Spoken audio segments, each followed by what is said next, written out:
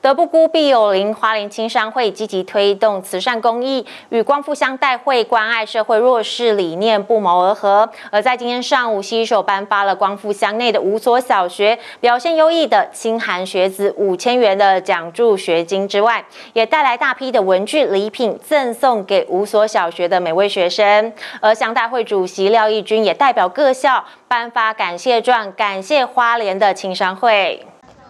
在光复乡代会的牵线下，花莲青商会会长张玉慧带领十多位的干部会员，带着大批圣诞节礼物分送给大景、大富以及大兴、光复与太巴朗五所小学，祝福每一位学生圣诞佳节快乐。各校校长也亲自到场致谢。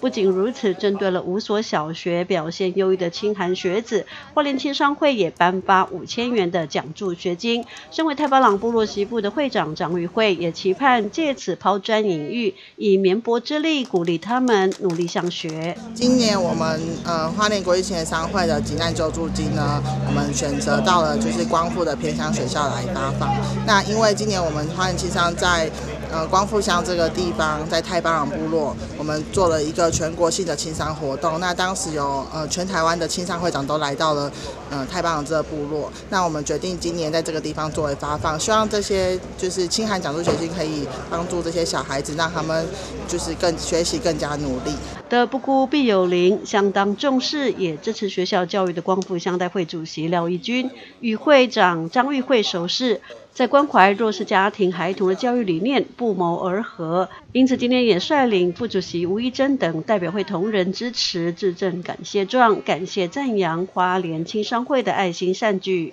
那在这里我也要谢谢我们花莲国际青商会来我们光复乡挹注资源。那我想在未来义军对于地方上的建设也好。公益也好，还有我们学校学生的教育也好，义军呢一定能够全力以赴，向上级以及社会争取更多的资源，挹注到我们光复乡。成立至今第五十九年的花莲青商会为县内三个资历最久的社团协会之一，成员皆为四十岁以下年龄层的花莲青商会，推动社会公益慈善活动不遗余力。今天专程南下光复乡颁赠奖助学金，也赠送圣诞节礼物。青商会的爱心也温暖光复乡每一个人的心。花莲国际青年商会。记者石玉兰光复采访报道。